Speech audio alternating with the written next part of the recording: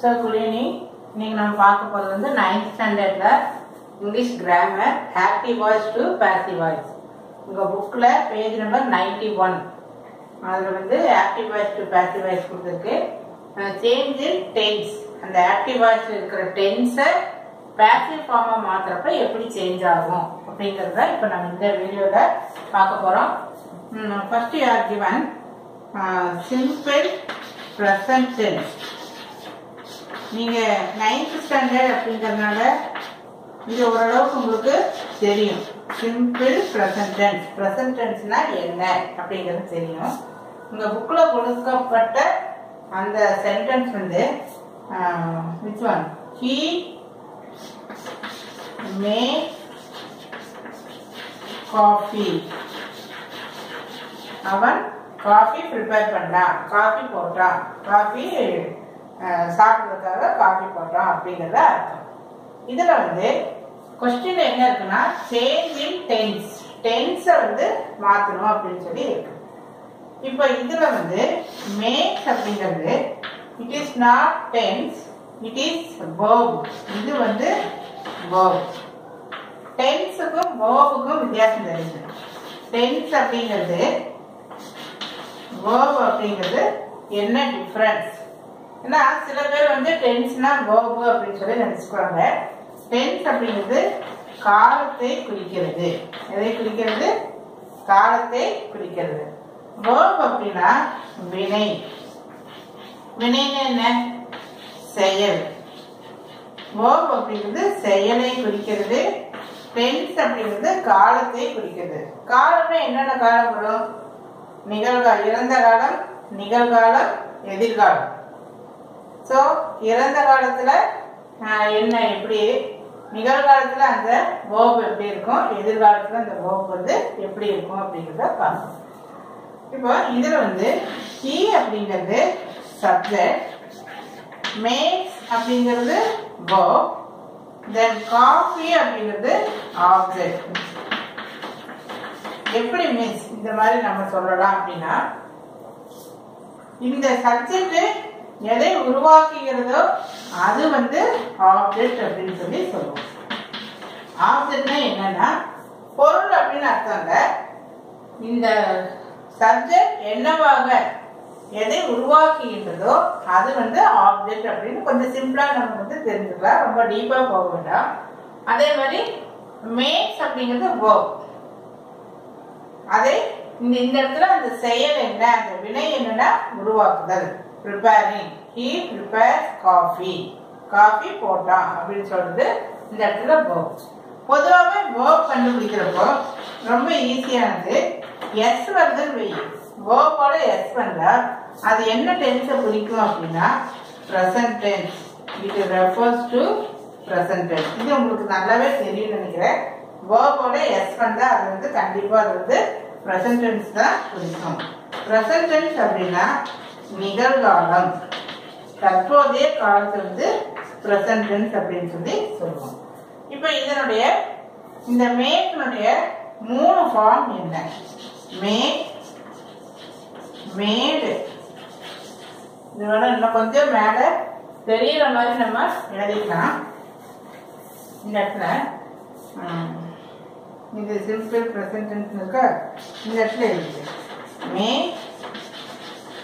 மேடு. இங்க மேடு. இந்த மேட் அப்படிங்கிறத நம்ம என்ன சொல்லலாம்? V one V two V three இது V V one V two V three V one அப்படிங்கிறது ப்ரெசன்ட் டென்ஸ் இது refers to present tense V two அப்படிங்கிறது பாஸ்ட் டென்ஸ் வி த்ரீ அப்படிங்கிறது நிறைய பேர் ஃபியூச்சர் அப்படின்னு நினச்சிக்குவேன். ஃபியூச்சரில் பாஸ்ட் பார்ட்டிசிபிள் பாஸ்ட் பார்ட்டிசிபிள் அதை ஷார்ட்டாக நம்ம பிபின்னு வச்சுப்போம் அல்லது என்னன்னு சொல்லுவாங்க? தேர்ட் ஃபார்ம் மூன்றாம் வடிவம். தேர்ட் ஃபார்ம் அப்படின்னு சொல்லி சொல்லலாம். ஸோ மே மே மே இந்த டேபிள் காலம் வந்து நீங்கள் வந்து ட்ராயிங் கிளாஸ்லேருந்தே படிச்சுட்டே இருந்தால் கொஞ்சம் ஈஸியாக இருக்கும். Say said said walk walk walk இந்த மாதிரி இருக்குல்லையா இந்த வேர்பனுடைய அந்த மூணு form V one V two V three இந்த மூணுமே தெரிஞ்சா மட்டும்தான் அந்த active voice to passive voice கண்டிப்பாக உன்னால் செய்ய முடியும். அப்போ இந்த இந்த இடத்துல நமக்கு கொடுக்கப்பட்டது ஆக்டிவ் வாய்ஸ் இது என்ன வாய்ஸ் ஆக்டிவ் வாய்ஸ் இதை நம்ம என்னவா சேஞ்ச் பண்ண போகணும்? பேசிவ் வாய்ஸா நம்ம சேஞ்ச் பண்ணணும். அந்த மாதிரி பேசிவ் வாய்ஸா சேஞ்ச் பண்ணணும்னா இந்த சப்ஜெக்ட் இந்த லாஸ்ட்டுக்கு போயிடும். இந்த ஆப்ஜெக்ட் வந்து இந்த ஃப்ரண்ட்டுக்கு வந்துடும் இந்த நடுவில் வேர்ப் இருக்கு இல்லையா? இந்த வேர்ப் வந்து நமக்கு ஒரு ஹெல்பிங் வேர்ப் அதோட ஜாயின் பண்ணி நம்ம இந்த இதை வந்து போடணும். பிஃபோர் த நம்ம பி வேர்ப் அப்படின்னு சொல்லுவோம் இல்லையா? பி வேர்ப் இந்த இடத்துல பி வேர்ப் அப்படிங்கிறது of is then was then are were. இது வந்து நம்ம வி verb அப்படின்னு சொல்றோம். Helping verb. அப்ப இந்த வி verb இந்த இடத்துல நம்ம யூஸ் பண்ணணும். இதுல ஈஸ் அப்படிங்கிறது singular present singular present was அப்படிங்கிறது சிங்குலர் பாஸ்ட் இந்த ஆர் அப்படிங்கிறது ப்ளூரல் ப்ரெசன்ட் வேர் அப்படிங்கிறது ப்ளூரல் பாஸ்ட் இந்த இங்கிலீஷில் ரொம்ப ரொம்ப இம்பார்ட்டன்ட் இதுதான். இதை நல்லா தெரிஞ்சுட்ட அப்படின்னா உனக்கு direct direct active voice passive voice இது எல்லாமே வந்து உனக்கு ஈஸியாக இருக்கும். பட் இந்த இது தெரியல அப்படின்னா இங்கிலீஷ் வந்து இட் இஸ் கிராமர் பார்ட் வந்து சம்வாட் டிஃபிகல்ட் ஃபார் யூ இந்த சைடு எல்ஹெச்எஸ் சைடில் வரக்கூடியதெல்லாம் எதை குறிக்கிறது ப்ரெசன்ட் டென்ஸை குறிக்கிறது அந்த சைடு வரக்கூடியதெல்லாம் பாஸ்ட் டென்ஸை குறிக்கிறது என்ன ஞாபகம் வச்சுக்கணும் அப்படின்னா சிங்குலருக்கு டூ லெட்டர் வேர்ட் இது ப்ளூரலுக்கு இங்கே இங்கே என்ன இருக்குது? இங்கே த்ரீ லெட்டர் வேர்டு இருக்கு இல்லையா? டூ லெட்டர் வேர்டு வர்றப்போ ப்ரெசன்ட் டென்ஸ் சும்மா ஒரு உதாரணத்துக்காக சொல்றது ஒரு ப்ளேவே மெத்தட் மாதிரி. டூ லெட்டர் வேர்டு வருது present tense three letter word வருது past tense three letter word present tense four letter word past tense அதாவது இங்கே எத்தனை லெட்டர்ஸ் இருக்கு ஐஎஸ் அப்போ டூ லெட்டர்ஸ் இங்கே த்ரீ லெட்டர்ஸ் ஒன்று ரெண்டு மூணு. இங்கே one two three A R E three letter word then one two three four four letter word இல்லையா அப்போ சிங்குலர் தென் ப்ளூரல் அப்படிங்கிறப்போ அந்த லெட்டர்ஸ் வந்து அதிகமாக இருக்கும். அதே மாதிரி சிங்குலருக்கு த்ரீ லெட்டர் வேர்ட் ப்ளூரலுக்கு ஃபோர் லெட்டர் வேர்ட் அப்படிங்கிறத ஞாபகத்தில் வச்சு இப்போ இதெல்லாம் சும்மா ஒரு பிளேவே மெத்தடுக்காக சொல்றது தான் நீ உன்னுடைய ஓன் மெத்தடில் அதை வந்து ஞாபகத்தில் வச்சுக்கணும் இப்போ நம்ம என்ன பண்ணணும்னா இப்போ இதை வந்து பாஸ்டன்ஸாக மாற்ற போகிறோம் ஸோ இதை பாஸ்டன்ஸாக மாற்றணும் அப்படின்னா என்ன பண்ணணும்னு சொல்லியிருக்கு? இந்த ஆஃபீஸ் இருக்குல்லையா அது இந்த பக்கமாக தெரியும் காஃபி தென் இந்த சப்ஜெக்டை அந்த பக்கமாக கொண்டு போயிட்டா இது என்ன மாறுனா ஹிம் அப்படின்னு சொல்லி மாறும் நம்ம நவுன் ப்ரோனவுன் இதெல்லாம் படிக்கிறோம் இல்லையா?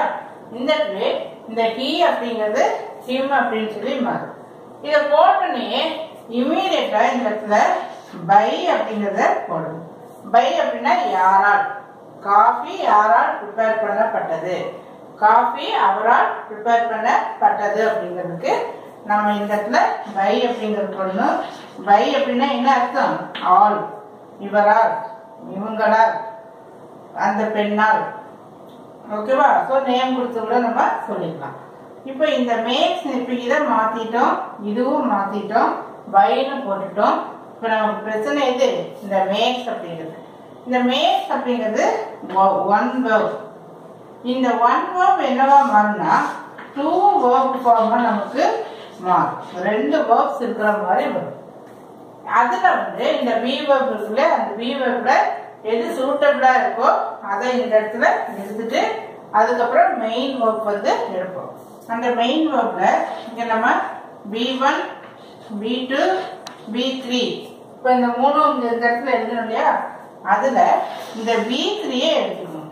வி த்ரீக்கு நம்ம என்ன நேம் சொன்னோம் பாஸ்ட் பார்ட்டிசிபிள் என்ன சொல்லியிருக்கிறோம் பாஸ்ட் பார்ட்டிசிபிள் ஸோ இந்த இடத்துல பாஸ்ட் பார்ட்டிசிபிள் என்ன எழுதிக்க மேடு அழிச்சிட்டோம் இருந்தாலும் நமக்கு ஞாபகம் இருக்குன்னு நினைக்கிறேன். மே மேடு மேடு இந்த மேடு வந்து எழுதிட்டேன். இப்போ ரெண்டு வேர்ப் எழுதணும்னு சொன்னீங்க.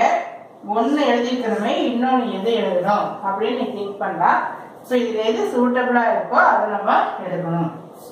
இந்த இடத்துல அதுக்கு முதல்ல என்ன பண்ணணும்னா இந்த காஃபி அப்படிங்கிறத பார்க்கணும் எப்போவுமே இந்த இடத்துல நம்ம அந்த ஹெல்பிங் வேர்பை எழுதுறப்போ இந்த இந்த இடத்துல வந்து இப்போ இந்த ஆப்ஜெக்ட் என்னவோ மறித்து சப்ஜெக்டாக மறித்து இல்லையா? இது வந்து ரெண்டு கண்டிஷன் சிங்குலரா டூரலா அப்படின்னு பார்க்கணும். இப்போ காஃபி அப்படிங்கிறப்ப கண்டிப்பாக சிங்குலர் சிங்குலர் அப்படிங்கிறப்போ நம்ம இந்த ரெண்டுல ஏதோ ஒரு தா- இது வந்து நம்ம சூஸ் பண்ணணும். ஏன்னா ஈஸ் அப்படிங்கிறது சிங்குலர் தான் வாஸ் அப்படிங்கிறது சிங்குலர் தான். ஸோ இந்த ரெண்டுல ஏதோ ஒன்று நம்ம இப்போ சூஸ் பண்ணணும். அதுக்கப்புறம் இந்த வேர்ப் வந்து ப்ரெசண்டா பாஸ்டா அப்படிங்கிறத பார்க்கணும். இந்த மேக்ஸ் அப்படிங்கிறது ப்ரெசன்ட் டென்ஸா அல்லது பாஸ்ட் டென்ஸா அப்படின்னு சொல்லி பார்க்கணும்.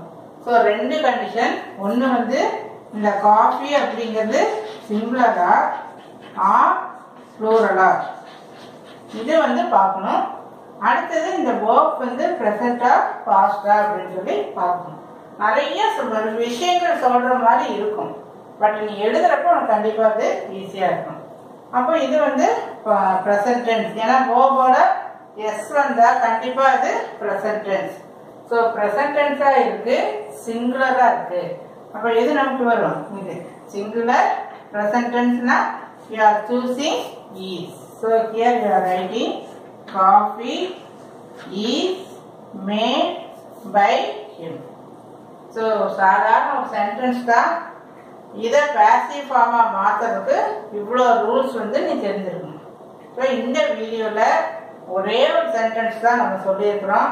இன்னும் நிறைய ஒரு ஒரு அஞ்சாறு சென்டென்ஸ் இருக்குது அது கண்டிப்பாக நம்ம ஒவ்வொன்றுக்கும் ஒரு தனித்தனி வீடியோவாக பார்க்குறப்போ உனக்கு வந்து ஈஸியாக இருக்கும். இதில் நம்ம பார்த்தது என்னென்ன நம்ம பார்க்குறோம் ரீகால் பண்ணணும். ஒரு கோபு ரெண்டு ஓஃபார்மாக மாறி இருக்கு இந்த சப்ஜெக்ட் வந்து நமக்கு ஆப்ஜெக்டாக மாறிடுச்சு ஆப்ஜெக்ட் சப்ஜெக்டாக மாறிடுச்சு கண்டிப்பாக இந்த என்ன போடணும் இந்த இடத்துல இந்த ப்ரிப்போசிஷன் பைங்கிறது என்ன? ப்ரிப்போசிஷன் இந்த ப்ரிப்போசிஷனை நம்ம இந்த இடத்துல போடணும். அப்புறம் இந்த இந்த V one V two V த்ரீல இந்த வி த்ரீ எடுத்து நம்ம இந்த இடத்துல எழுதிக்கணும்.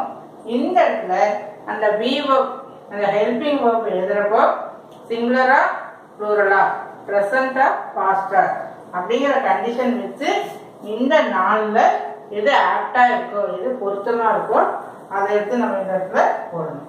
So hope you understand so அடுத்த வீடியோவில் நம்ம அடுத்த சென்டென்ஸ் நம்ம பார்க்கணும் தேங்க்யூ